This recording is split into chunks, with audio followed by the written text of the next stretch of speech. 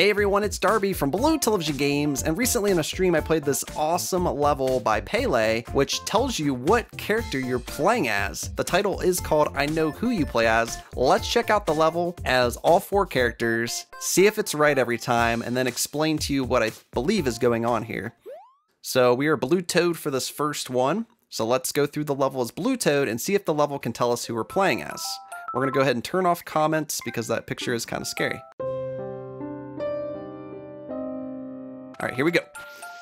Into the pipe, and we are greeted with some doors. We have to go in this first door, and once we do, we get a fire flower, we throw a fireball, it ignites a Bob-omb, it activates the P-switch, it's the only one that we can hit, so we have to go through the P-switch door. Once the P-switch runs out, the level should tell us who we are playing as.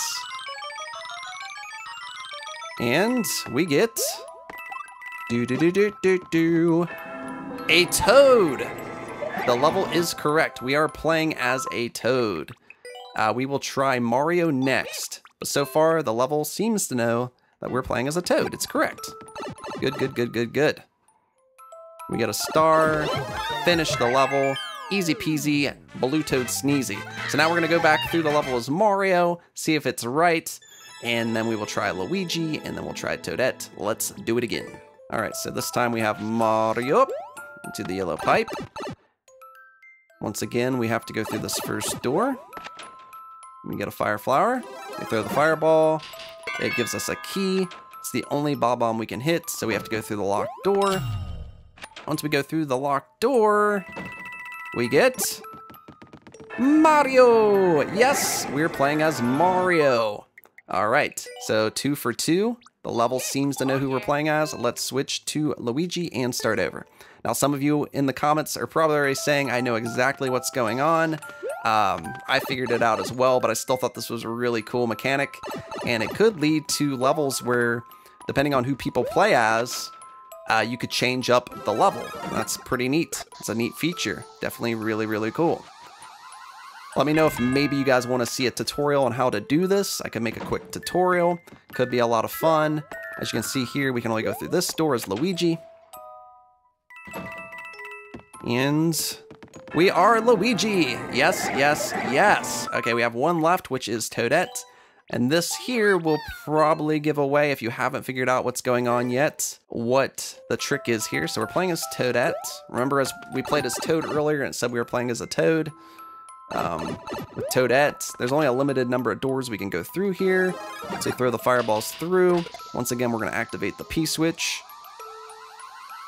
Boom. Oh, we didn't activate it. Yeah, we did. Okay, we activated it.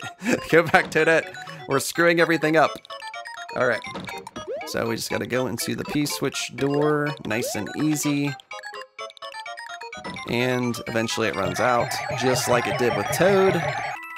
And we get a Toad again. So we don't get Toadette. Uh, so if you still haven't figured out what's going on here, I will break it down for you real quick. And once again, if you want to see a tutorial on how you could do this, so you could set up a level that the outcome is based upon which character you're playing as, I could definitely do that. But real quickly, we'll start over and I'll just explain to you what I believe is going on here. And that is all the small characters are about the same height. When we go through this first door, we get a fire flower. And that's where this all comes in. Each character is slightly taller. The Toads are a little shorter. Luigi's a little taller than Mario. Depending on how tall you are, the fireball will throw differently since you're throwing it from a different height. It ignites a different bomb. In Mario's case, we get the key, which puts us to the key door. Key door is always going to say we're playing as Mario, obviously. It's not going to change the room up. So that is how it's done, but if you want to know how to set it up, if you want me to break it down for you in a tutorial, once again, let me know.